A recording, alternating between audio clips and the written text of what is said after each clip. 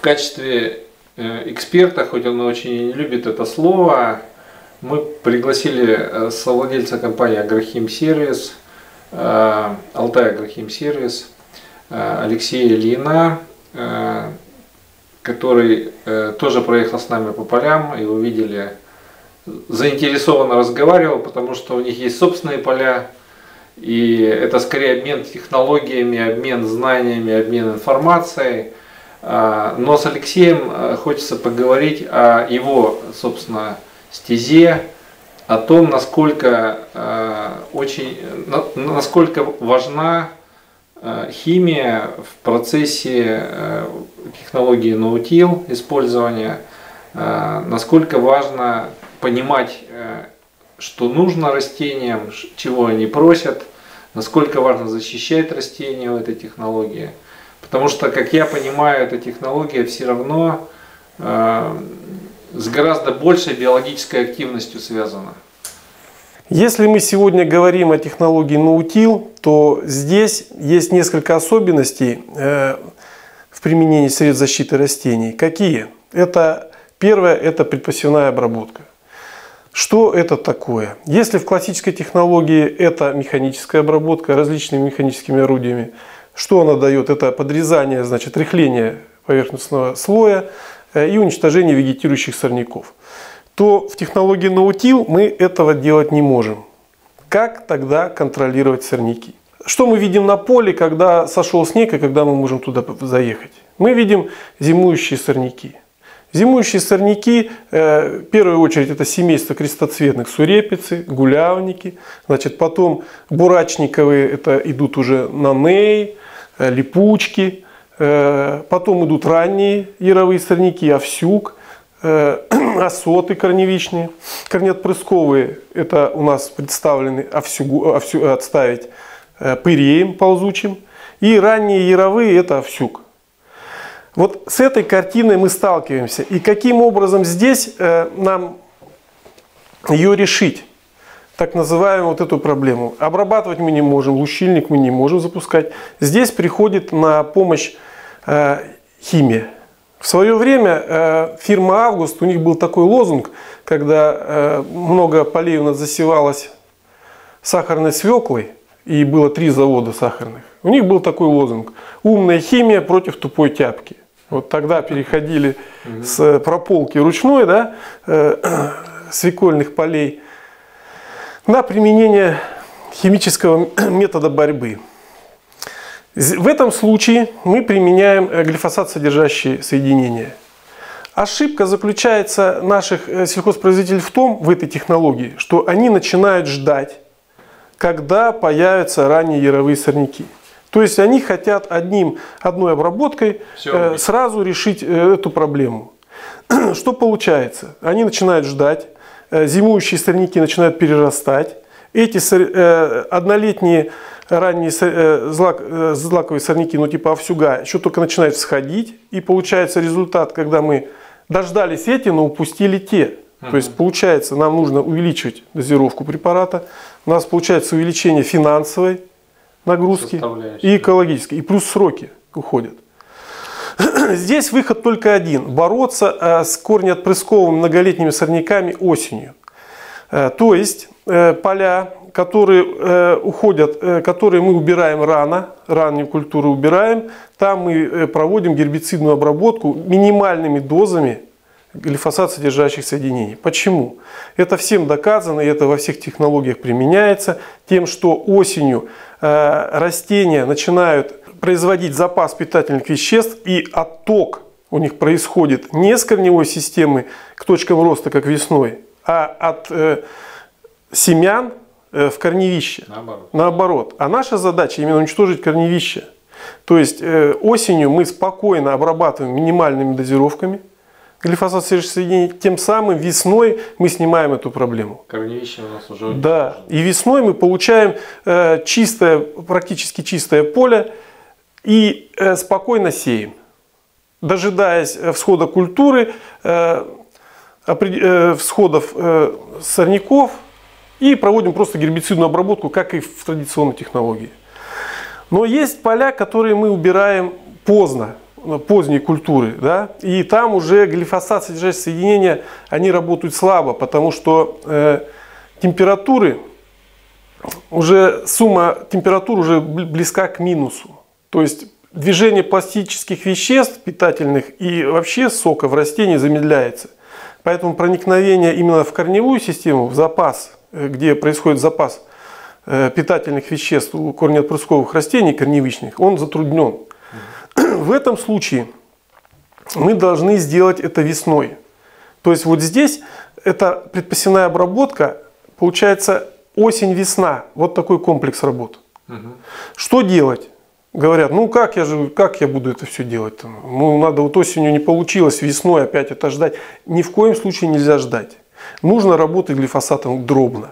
Появились э, зимующие сорняки, только начали они прорастать, мы можем зайти в поле, нужно сразу начинать работать по ним. Э, дальше э, по, э, по приближению сева, по, по, по мере прогревания почвы мы уже смотрим обстановку, какая складывается. Если пошли ранние яровые сорняки, значит можем еще маленько отработать. То есть минимальными дозировками глифосата дробно. Вот таким образом мы сможем эту проблему решить. Почему это необходимо делать? Потому что э, вот эти все э, сорняки, так называемые, они являются биологическими насосами. Потому что что такое биологический насос? Это влага, потребление влаги, потребление питательных веществ.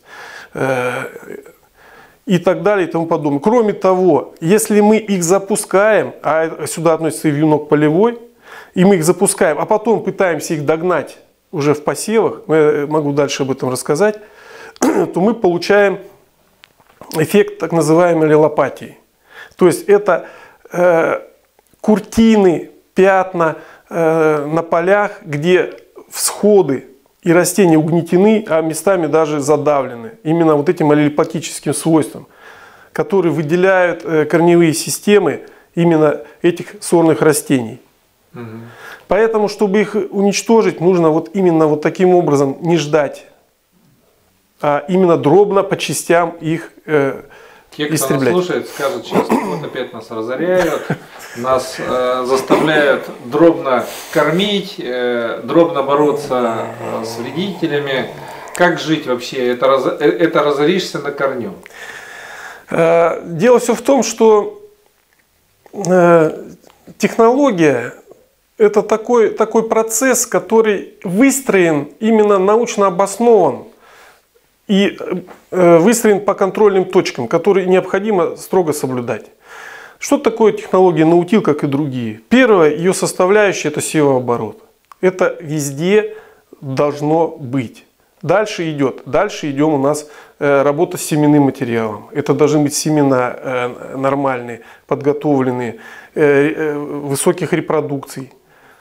Вот. Третий момент – это уже генетика, это гибриды, высокоурожайные, гибриды э, устойчивы, например, к каким-то там э, технологиям, э, экспресс, технологиям клеофил, там, напасаран. То есть это уже гибриды семян, которые устойчивы вот именно к определенным гербицидам.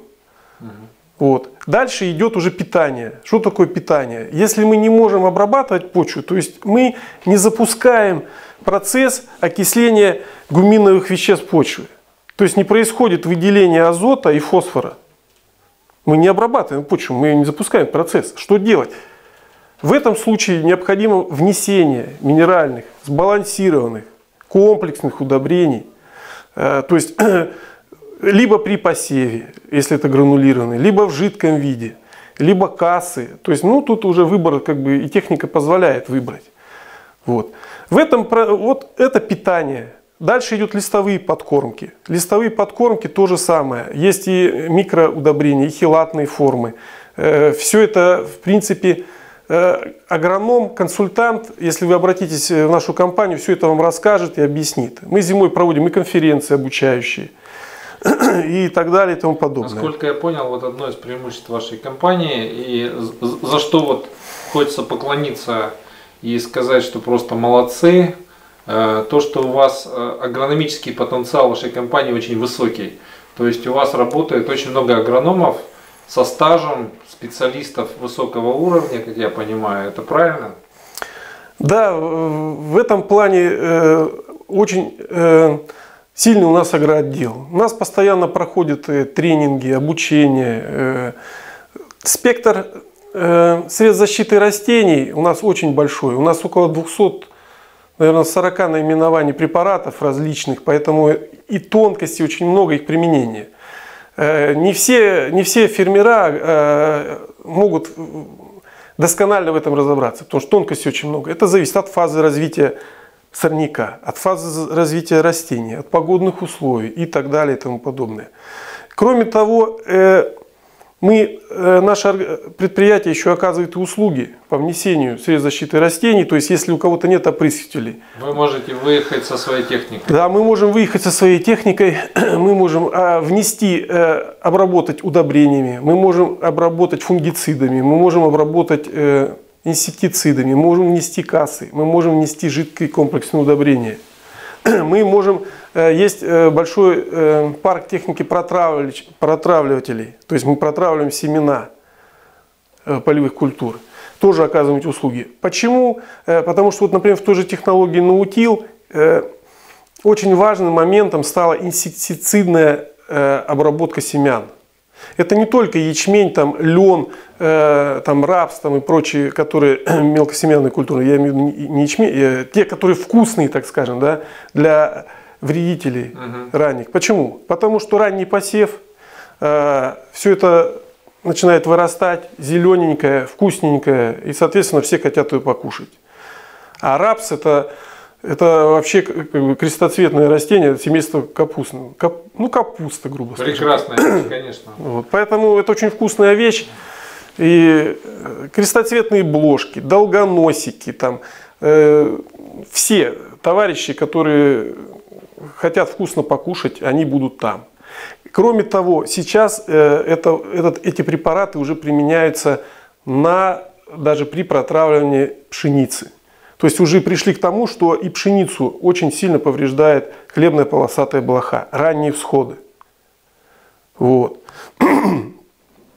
То есть все эти э, комплекс этих мер от агроконсультирования и до оказания услуг, если человек не успевает, хотя многие, у многих есть опрыскиватели, но в зависимости от погоды многие не успевают обрабатывать свои поля и, соответственно, приглашают нас. Следующий момент э, по, из особенностей наутила – это когда э, есть дефицит влаги. Проблема основная у нас э, в нашем, в нашем регионе это влагообеспеченность. Влагу, да. Ее, э, как сказать, сохранить и удержать. Когда влаги нет или она на пределе, тогда э, по наутилу сеет, сеет сразу, пока есть влага. Пытаясь потом, потом до всходов основной культуры да, уничтожить вегетирующий сорняк э, глифосат содержащими соединениями. Здесь опять есть определенная тонкость. Э, когда такое происходит, необходимо четко смотреть, потому что мы вроде как бы ждем, ждем, вроде вот ну пусть еще немножко, ну пусть еще чуть-чуть, ну пусть вот там что-то еще взойдет. Приезжаем и вдруг совершенно неожиданно видим, что оказывается культура-то уже взошла. Угу. Что делать? Глифосатом уже работать нельзя. Тогда мы ждем Э, фазу культуры, когда она до нее дорастет, когда можно будет работать. Но в этот момент, соответственно, те товарищи, тоже. они тоже растут. И они уже перерастают. И уже нужно будет их догонять, вот эти догонялки, как бы дело такое, как бы сложное. Лучше в них, конечно, не играть. Лучше планомерно работать осень-весна, как я говорил перед этим, и спокойно заходить на чистые поля, сейте спокойно потом э, дождетесь сорнячка вегетирующего, да, и спокойненько с ним поборетесь. Посмотрите, кто там к нам пришел, какой товарищ, что с ним делать, каким образом его, так сказать, убрать с поля, и все. В общем, надо сказать если вы будете соблюдать технологию, если вы будете правильно с ней работать, то вы будете, дело ваше будет таким же вечным, как вот этот самый Рим, который за нашей спиной.